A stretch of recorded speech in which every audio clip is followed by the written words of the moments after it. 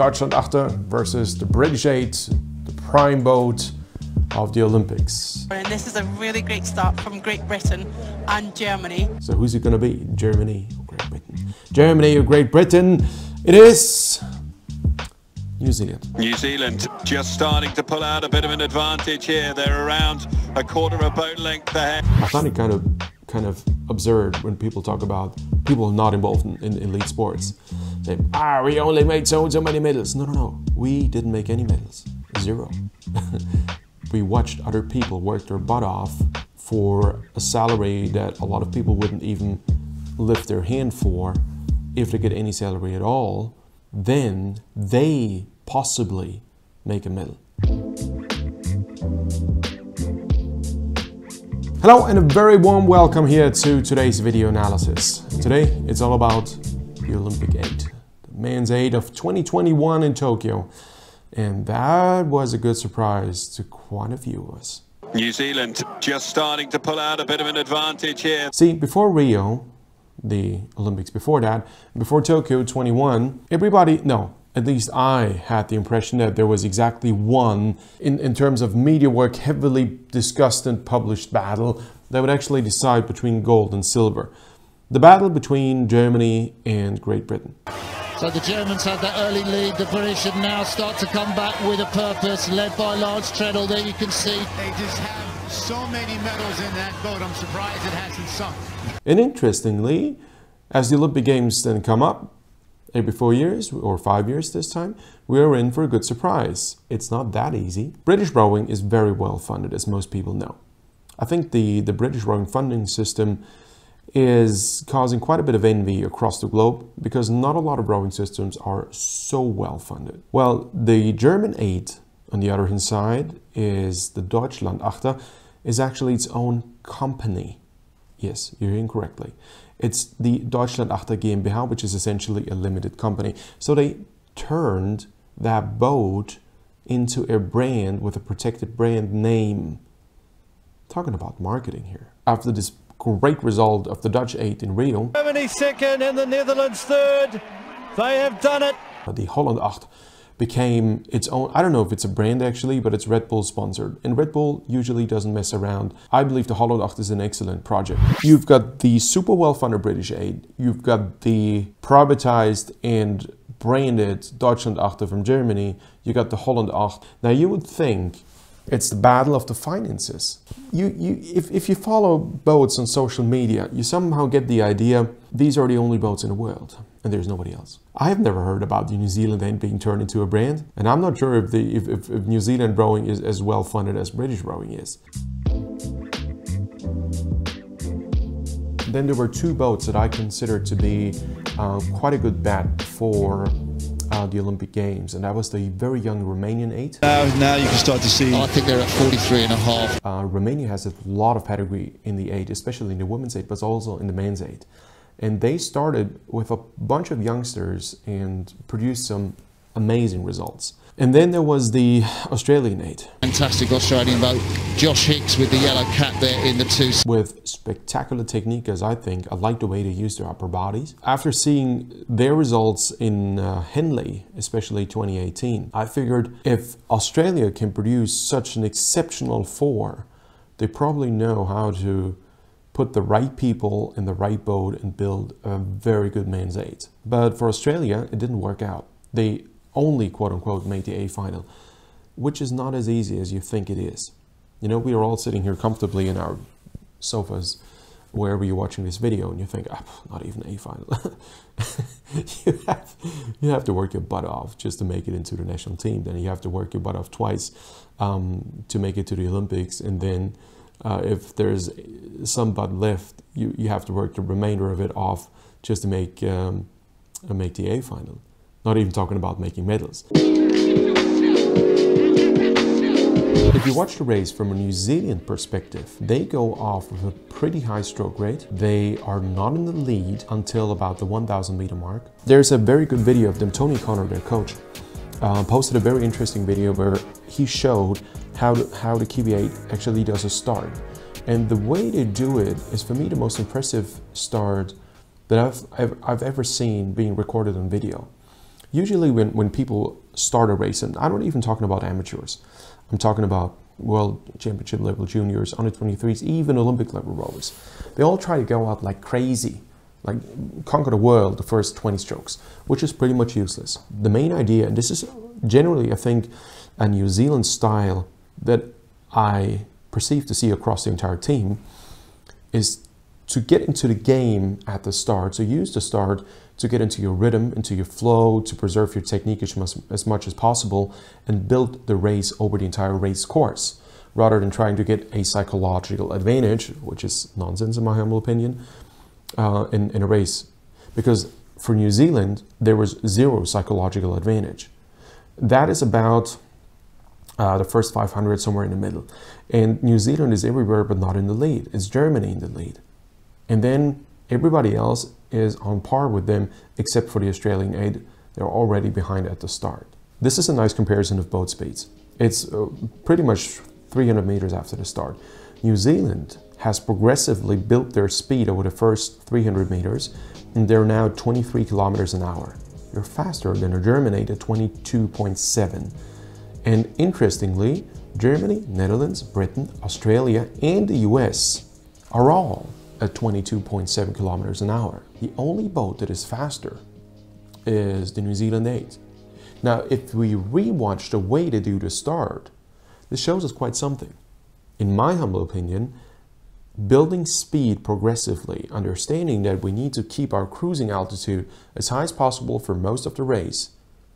By that I mean, don't try to don't try to have the speed at stroke number four. Try to have this, this your your style, your desired speed at stroke number 20 or 25 seems to pay off more because you don't cramp your body, you don't contract muscles you don't want to contract. Uh, I will only talk about the Kiwi 8 in that stretch.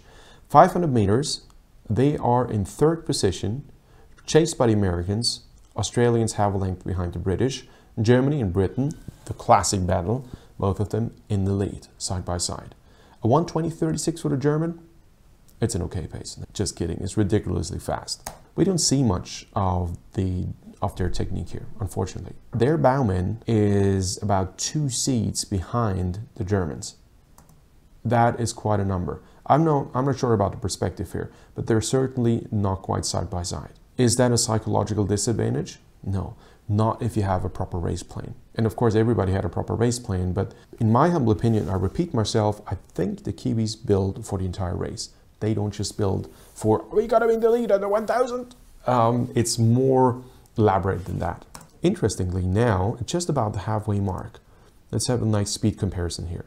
New Zealand is the fastest boat. Still, their speed dropped to, dropped to 22 and a half kilometers per hour. They're still faster than everybody else.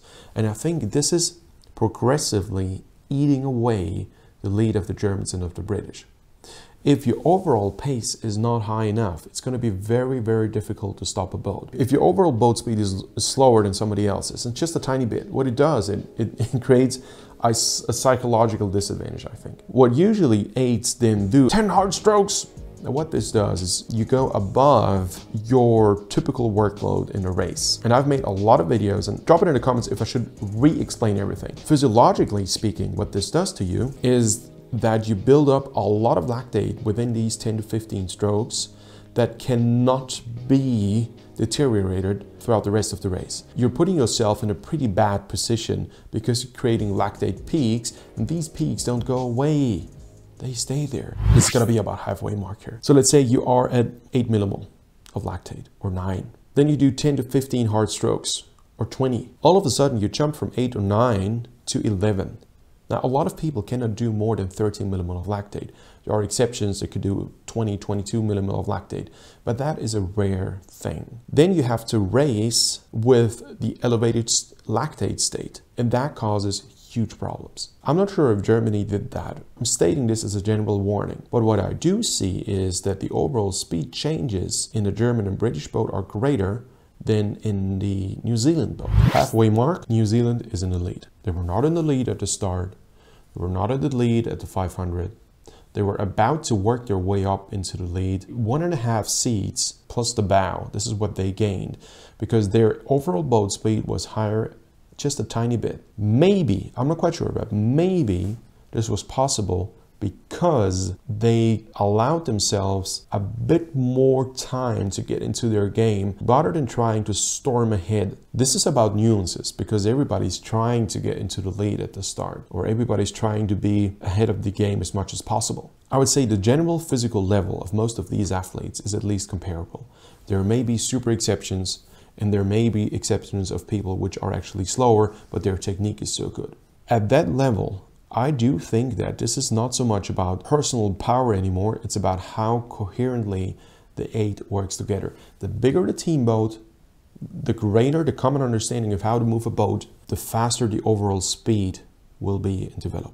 If you look at boat speeds now, this is going to be about the 1250 to 1500 meter mark. New Zealand still has the fastest boat speed on the water, just by 0.2 kilometers an hour. Germany is now doing what I consider to be a push, and Great Britain is doing the same. However, New Zealand will be able to hold the pace while Germany and Great Britain pays to their change of boat speed. Changing the speed of an 8 is not so easy. It's a heavy boat, it weighs 100 kilos. These 8 people, if they average 90 kilos, that's 820 kilos. So with the coxswain and a bit of a bit of weights ups and downs, we're anywhere between 850 and 900 kilos, so close to a ton. A full ton, you don't change the speed of a full ton of weight so rapidly. Their progressive build over the entire race has paid off in a way that they have half, half a length up on Germany, Great Britain, and the US. This is one of the very few technique shots we get of them. The way they use the upper bodies altogether is fantastic. You will always find differences. Okay, that person's using it a bit earlier than the other one. Yes, that's that's true. You never know about the physique. Some some people may have a longer trunk, some people may have a shorter trunk. Ultimately, when I coach people, I do judge by the optics, but mostly I try to read the force curves. So I have them on the bio rower. I try to understand how to influence the boat with their particular style. And sometimes I end up that people actually look different when they row, but they influence the boat the same way because their anthropometrics, the way their bodies are built, are different. So in order to compensate for that, I'd sometimes literally ask people to row differently, optically speaking.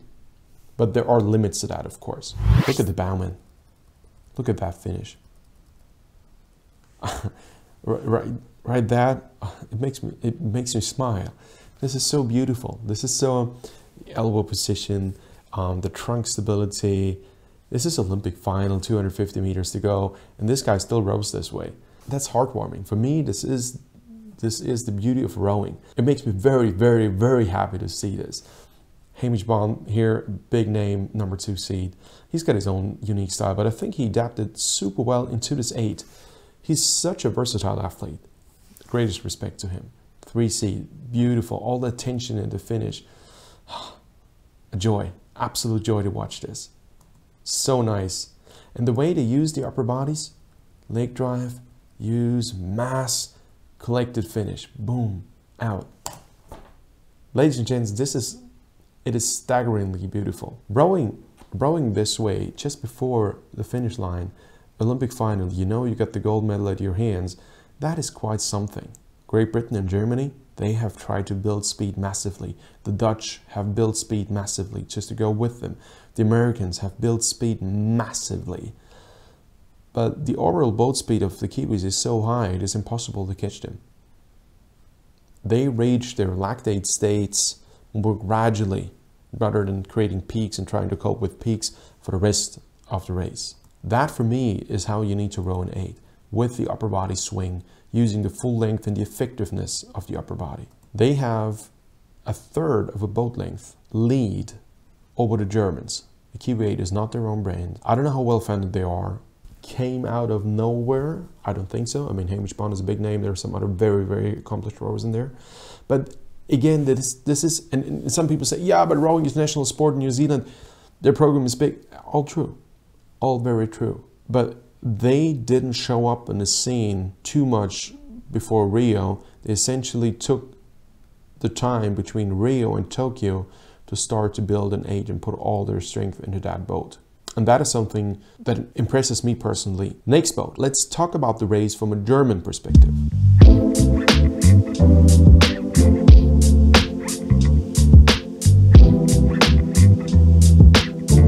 Talking about the German Aid 8, Deutschlandachter. This is their website, deutschlandachter.de for Germany.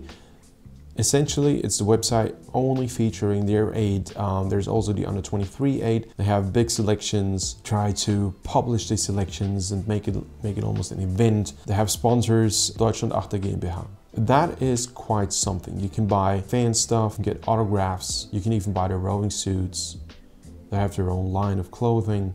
So now I've got this big boat with a lot of media presence, also in German TV, so they pop up everywhere, um, trying to build a reputation, a brand, trying to build a system just around that one boat to make the fastest eight in the world, which is, I think, a cool thing. It's quite a challenge to live up to the expectations that you create with such a brand. And this is what I tried to talk about initially in the video. Oh, we didn't even make a gold medal.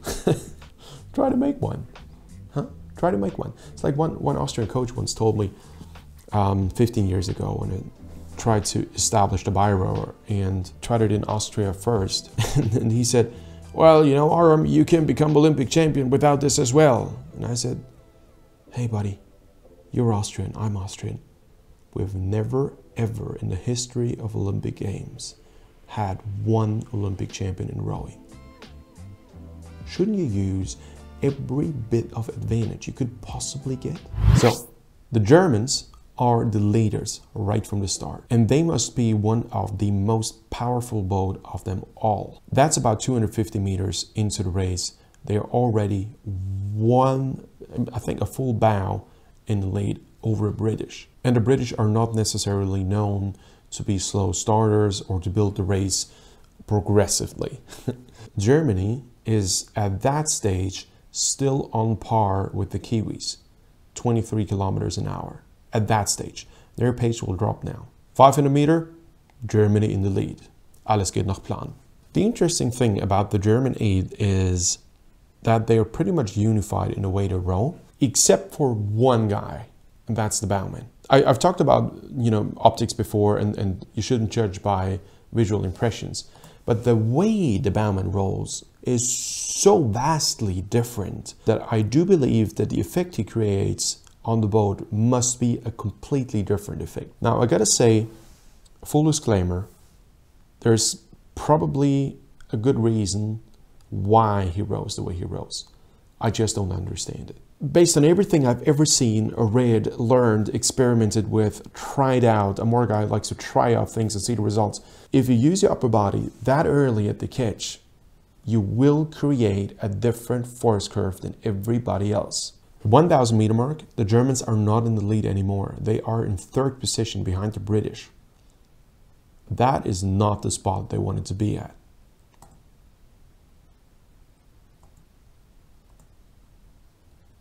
And you may think, okay, it's only 0.25 seconds. In, in an 8, this is quite a bit.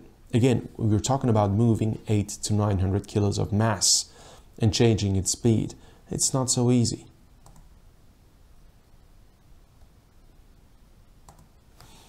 That, that is probably a good shot. I'm pretty sure he's in there for a good reason. I'm pretty sure this guy's strong as a horse and the coaches have done everything they can to find the right people who bring the, the best possible boat speed. Stability in the bow is a key thing. That's probably his main job. I'm pretty sure he's in there for a reason. They got Olympic silver there are not a lot of people in the world who can call themselves Olympic silver medal winners. That's all legit.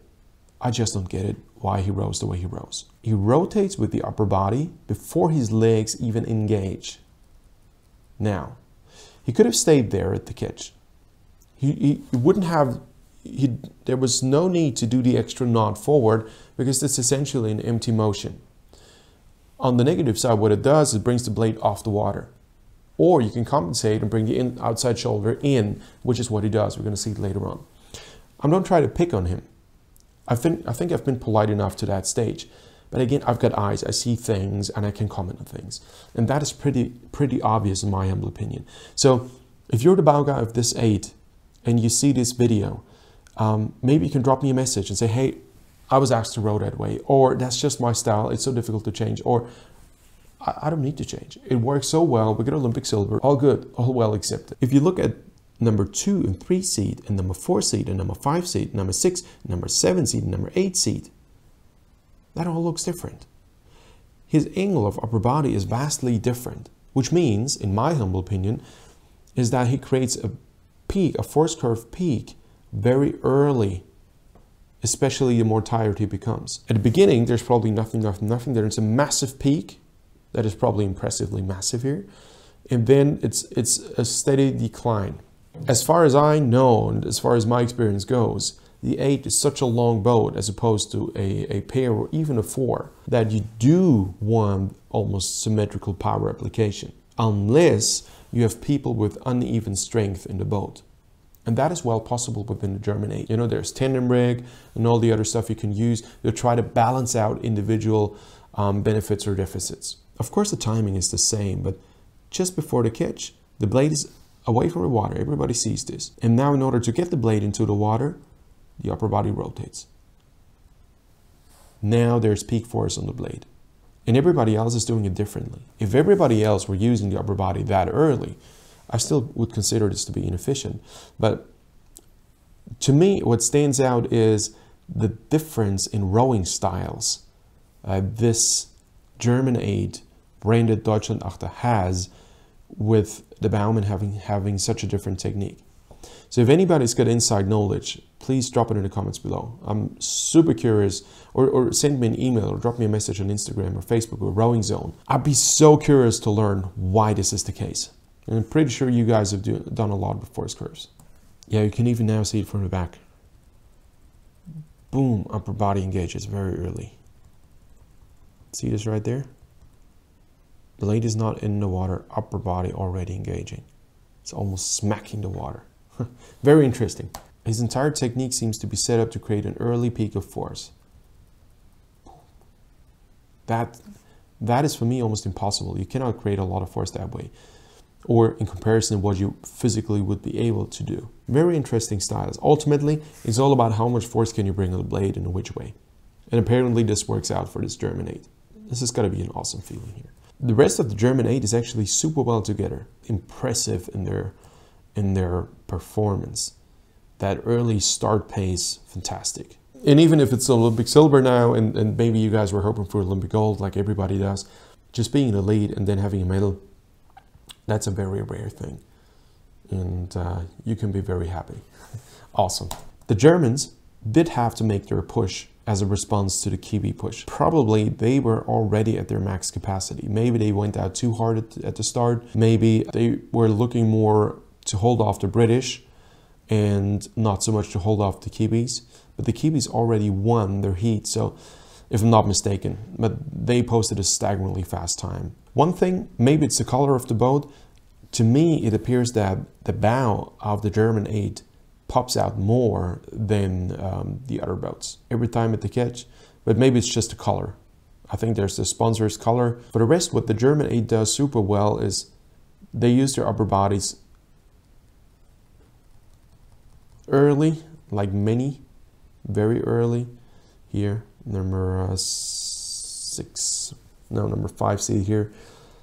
Number five seed uses the upper body also quite early. So there are a few differences in the way they use their upper bodies. It's not as massive as with the bowman, but it looks to me either they didn't care too much about it or it simply was not or it simply is, is a desired effect. But there could be something else the case. So this is becoming a very long video, but there are many thoughts that go into this and I usually take a lot of notes here and a lot of things that come to my mind. My impression is that a lot of selection mechanisms in, in these eights, especially in Deutschland, it's not like you build an eight and you try to unify that eight or that boat so that the boat actually works together as a team. They influence the boat the same way, they have a joint understanding of how to move the boat. That was the case, for example, with some of the um, of the Baltic quadruple sculls we saw the last couple of years. Lithuanian, uh, Estonians. Um, they, first of all, they don't have a lot of people to choose from, but that also gives them the opportunity to really match the people they've got.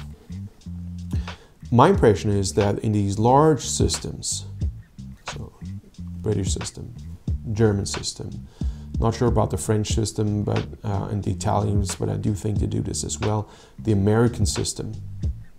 I'm not sure if if uh, you guys in Australia do it that way as well, but I think in, in New Zealand it was not such a big deal. You tried a couple combos, but then you found it.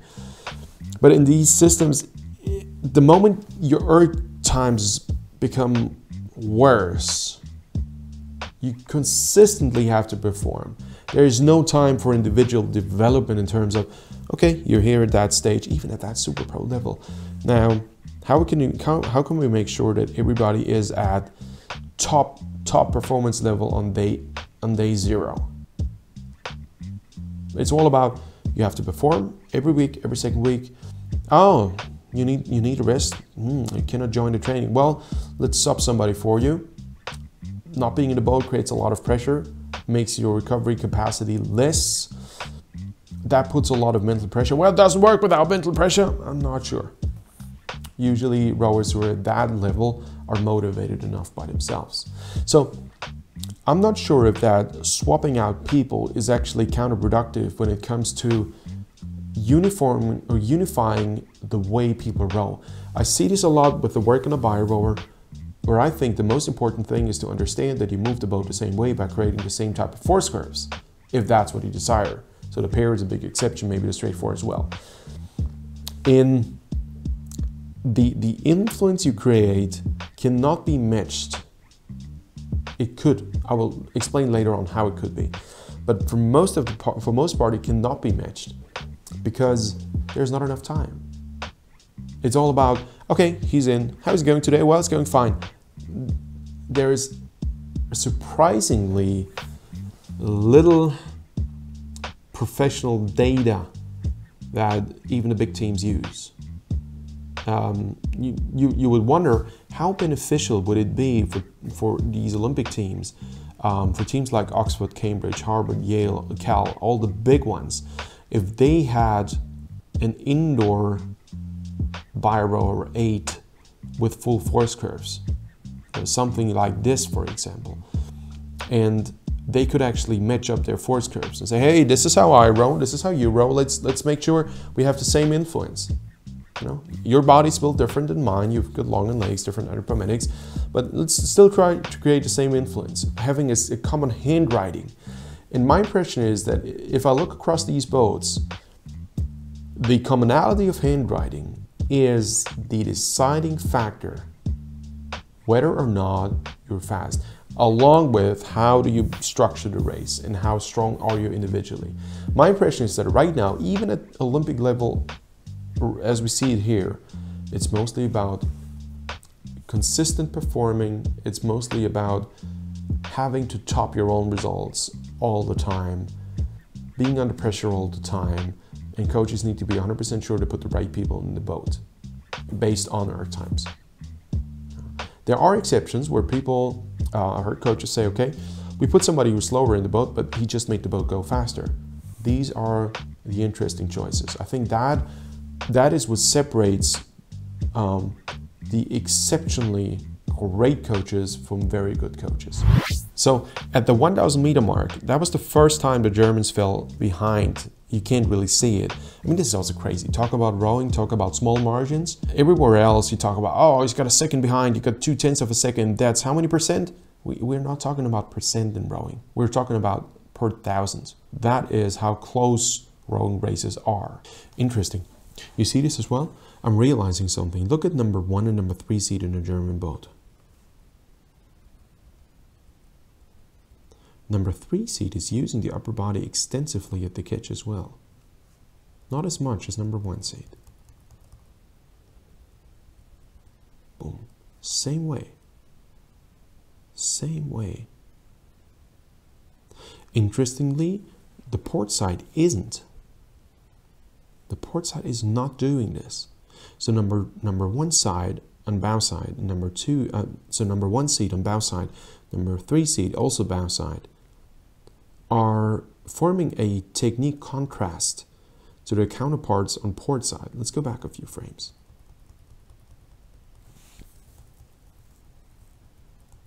I'm trying to do thorough video analysis here. So if, if that is not a short entertaining video, I would say, haha, hee hee, look at them, was so good. I'm, I'm, trying to be spot on, trying to distill the differences, find out all the little details, and there would be so much more to talk about. Check one, two, three, four. Just look at the body angles now at the kitch. That is, I gotta say, the bowman is actually not alone with this way of rowing. Let's look at number five, also seat. Pretty round, hunched back. It's gonna be a big man. Low hands. Legs should be about to touch the water. Yeah, he's also rotating the upper body, not as badly, but he does. Look at his counterpart. No, interesting. I mean, you could you could argue that it's different perspectives and you say you cannot judge. But hey, if, if you have looked at a lot of sweep rowers, you get a good idea of what body positions and proportions look like when they move in a certain way. So um, most coaches would probably agree with me here. Let's look at seven seat. How does he do this?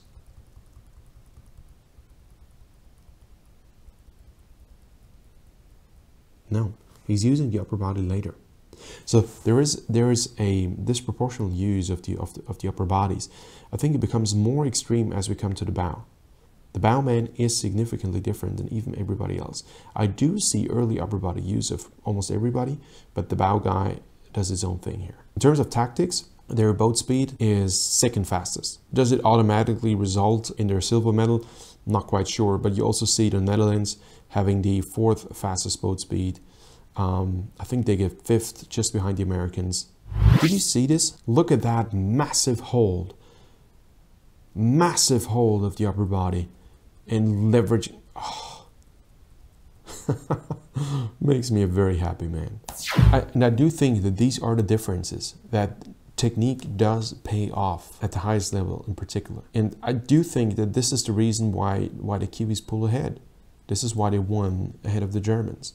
Usage, the combined usage of upper body versus the Germans, in my humble opinion, it was certainly not the only factor, but it was one important factor next to building progressively speed over the entire race.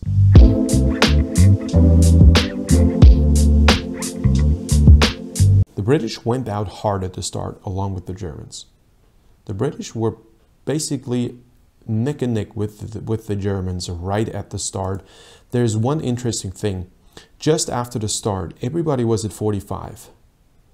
Two boats were at 43 the Germans and the British, as if they were tied together, as if they had had so many battles one on one before. That's just their racing style. As far as I'm informed, uh, the British 8 is or was actually coached by German for a long time. Dropping to a 43 and being in the lead for me signifies a very power based start phase, not so much focusing on playfulness, bringing up speed. New Zealand is still at a 47 then. New Zealand is still at a 45, not being in the lead. More strokes per minute, slower boat speed, less strokes per minute on the British and German side, higher boat speed. That's a lot of power. Maybe that is a small indicator that these two boats, and especially the British here, as we're watching the British closely, have spent too much energy during the start, and the result of that was a lactate peak. First boat speed comparison, 22.7, 22.7. Interesting. Same stroke rate, same boat speed. The only boat that is faster are the Kiwis with 23. But everybody else here, except for the Dutch, are at 22.7. Talking about their style, I think if I had to show anybody, um, excuse me, what does a rowing 8 look like when it's, when, it, when it's rowing well, um, I'd say just look at the British 8 you can't go wrong with that. I think it's more effective to row like the Australians or uh, the Kiwis. Although you may say now, oh, the Australians, they only got sixth. You, never know what happened. You never know about physique. You never know if they actually put the strongest guys in the boat. But the way the Kiwis and the Australians row, I think is the most effective style. But in terms of the easiest style to understand, I would look at the British. The way, they're the most unified boat of them all, I think. especially in comparison to the Dutch I will talk about later. They're pretty disciplined when it comes to upper body use. You don't see big exceptions, leg drive, short leg drive, massive upper body, not much of a backswing. Interesting, in, interesting the tandem brake here in the, in the center. So you get a port side stroke and a port side bow. Maybe five seat is a bit early with his upper body, but again stabilized at the moment the, the leg drive starts. So let's go back a couple frames. Yeah, super stable, using the upper body together not using much upper body at the finish. Would the British have used more upper body at the finish would have been faster? Hard to say. I, I believe so, yes. If they would have rowed the Australian style or uh, the New Zealand style, I do think that they'd have been faster, but it's it not it's not easy to change a style that quickly. But it is possible, and I do think it would have paid off. Am I saying that, well, if the British had had a different technique, would they have won? I'm not sure if they would have won, but I'm pretty sure they would have had a higher boat speed. The way they row, the way they move the boat, with they're trying to be patient on the front end with the upper body, and then having a pretty massive upper body use, but then again, not using a lot of backswing. That is unified across the entire boat. You don't see a lot of differences here. So it's it's look at the German here. It's a, it's a very smooth style. It's a style that allows for high speeds very early in a race. You don't need a long stretch to build speed. One of the upsides of that style is, in my humble opinion, it does allow for quick speed changes if needed because the upper body use is not completely neglected. They do use the upper body. And the upper body is like the turbo in a rowing stroke. It, not so much the upper body, it, the motion should originate from, from from the pelvis and rot help you rotate around the hip joint and use the entire trunk as one main lever. If that is possible and you do it in unison, that's super fast. But again, it's the common influence in the boat. So I think in terms of commonality, besides the Kiwis and maybe the Australians, the British are doing it extremely well. At the same time, that style allows them to be at highest boat speeds very early. What is the downside? Their overall boat speed is not as high as it could be because they're missing the consistent upper body use. Upper body use in terms of using body weight. They're not using the body weight for as long as possible throughout the drive. And I think this is the reason why they are not up there with the Kiwis. And you say, oh, it's just a small margin. You're talking about 900 kilos or possibly a full ton in the British boat of mass. Changing speed and maintaining speed is very difficult and you need all the nuances you can possibly get a hold of. Nice leg drive. Yeah. Accentuated upper body use, not much lean back. Boom, right in there. And I like one fine detail. You know, 4C doesn't lean back a lot because he's a tall dude. Um, 2C does lean back more because in comparison to him, he's probably small. He's probably still a super super tall guy, but that's that's his style of rowing. Beautiful very, very well thought out. This is where you see the full beauty of that British 8 again. Yeah, there's nothing to say about this. If, if you would ask, say, hey, what, what should an 8 look like? Um, refer to the British. That's where an 8 is supposed to look like. It's very easy to, to, to transport as a picture. It all looks the same. And it all looks the same, it's going to be good. That this is not the case always every, I mean, insiders know that. But their their style, their uni unison of technique, their unison of optics is, um, I think, is is spectacular. It, there's nothing more to say about this. Yeah, enjoy and watch. The boat speed here, interestingly, the British do have the slowest boat speed of the top four, along with the with the Dutch and that's where the field is more together. So that's about mid-race, I think. And this is where they are trying to settle for a race pace, and this is where the German race pace is a bit higher, at 21.6. Still, the Kiwis are going at almost 22 kilometers an hour, so half a kilometer faster than the British. And I think what we see now is the battle between Germany and Britain. So for the British, they're very disciplined. I, I haven't seen anybody look out of the boat, which, as we know from the Italians, is not necessarily a bad thing. And they have Germany next to them with the Dutch in between, but they're half a boat length behind. So for them, feeling the energy of the Kiwis is difficult. The only ones who feel them are the Americans and the Germans. Would, have, would the British have been in the American spot in that lane, I do think that this would that Britain may have had an advantage over Germany, being pulled a bit by the Kiwis. But it again is just guesswork. 1500 meter mark. What is interesting here is there's a quite significant lead of the British over the Germans. They have had they had to spend a lot of energy to change boat speed massively to go from behind Germany to be leading Germany by almost a bow. That is a lot. And now for the last 500 they are at substantial lactate levels. 0.4 seconds ahead of the Germans. That is massive. Look how far they're up. I mean, it's also the perspective. It's slightly in a tilted angle. But that is quite something. And now you see the German bow ball slowly, slowly inching ahead of the British. Just, just before the finish line, the Germans made it to be neck and neck with the British. And once the eight is going, it's going. And this is where the Germans just pull ahead ever so slightly of the British. This is the tiniest margin. I, I, I, don't think they even called, yeah, they didn't call the result. See this? They didn't call who's first, uh, who's second or third. They couldn't, they couldn't tell. And what is also interesting is the massive margin, surprising margin, between the British, the Germans, and the Americans. Because the Americans were pretty much on par with the two battle boats here besides the Kiwis for most of the race except for the finish sprint.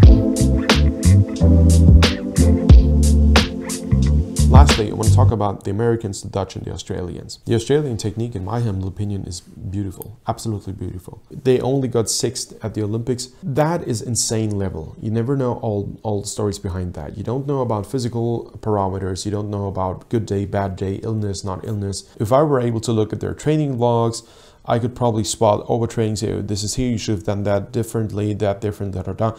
That's actually my key competence, training, planning, and all that stuff.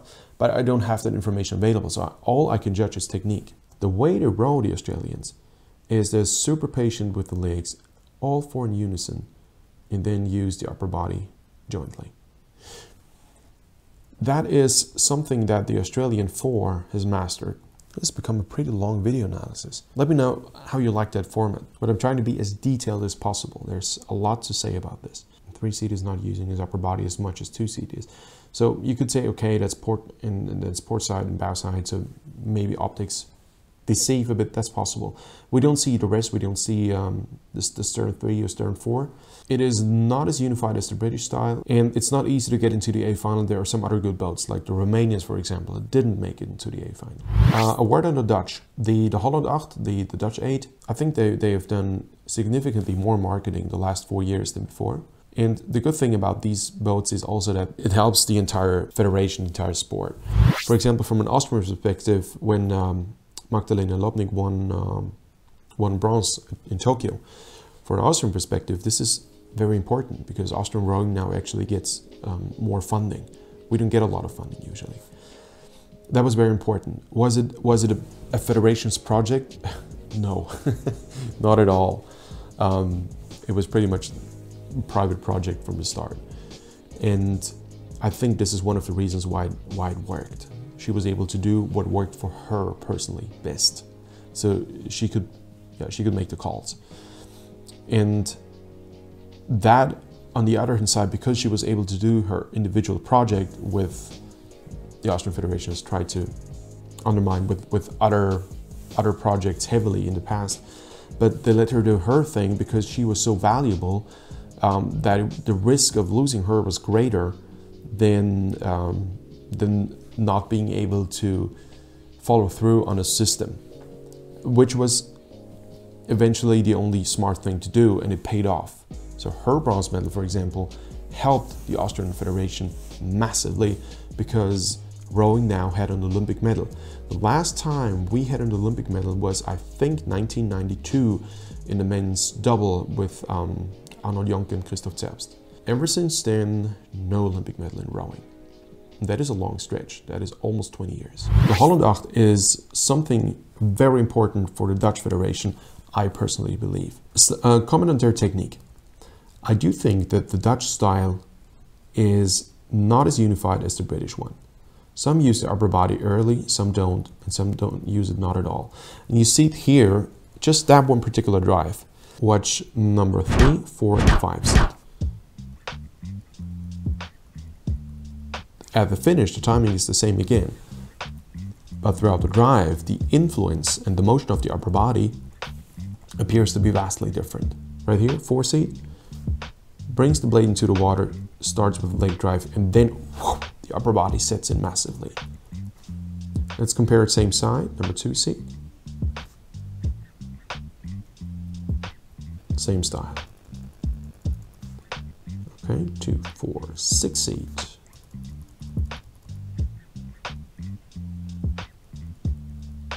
uses the upper body quite early. See this? Brings the blade into the water with an upper body pivot. Boom. Now that does something to the force curves. They rowing badly? Come on, Olympic A final. Nobody rows badly. They're all, I mean, these are the best, best eights in the world. Although I'd be very, very curious to see these Olympic eights go up against Oxford Brookes. I would love to see Oxford Brookes being part of that final. If, if we had a 10 lane or 12 lane race course, this would be my dream. Seven seat, five, three, and bow. I know a lot of people argue you cannot compare the side where you see the blades with the side where you don't see the blades, but I think I can. And you use the he uses the upper body very early. Same same here. Look at three seat not not as much looks different to me let's look at bow seat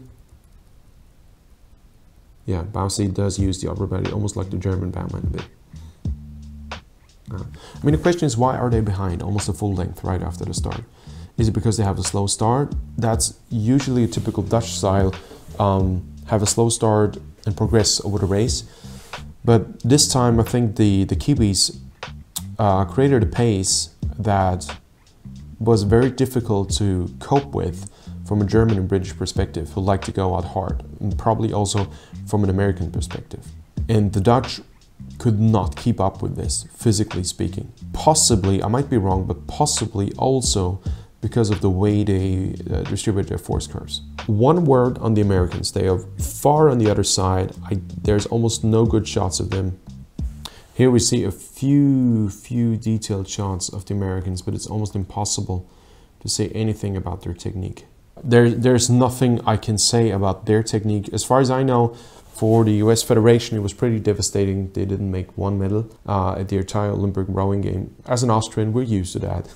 Hold on. Austria has made more Olympic medals in rowing than the US at the Olympic Games 2021. No, Austria hasn't made. Magdalena Lobnig happens to be from Austria and made an Olympic medal. That's how you have to put it. And as great as the Americans row, um, it didn't. It just wasn't enough to make a medal. They were only fourth. There are a lot of people very happy to be an Olympic finalist. Okay, ladies and gents, thank you very much for watching. It was a very long video analysis. I'm now going to start and edit this video. I, I, I, feel it's going to be a long one. Let me know what you think of that format. Is it more interesting? Is it less interesting? Should I keep the videos shorter? And now I would love to hear your thoughts on that race. There are probably so many things that I missed, so many background stories, so much more information, different opinions. Who says that I'm right all the time? So let me know what you think. What what is the gossip that you heard? What what is the actual? What are the facts that you heard about? and of some of the teams, what what was going on. Let's join. Let's let's start a discussion here. Thank you very much for watching. Subscribe to aramtraining.com. Visit aramtraining.com, the website, and I see you in the next video. Share, subscribe, like, so I can spend more time on making such long videos. All the best.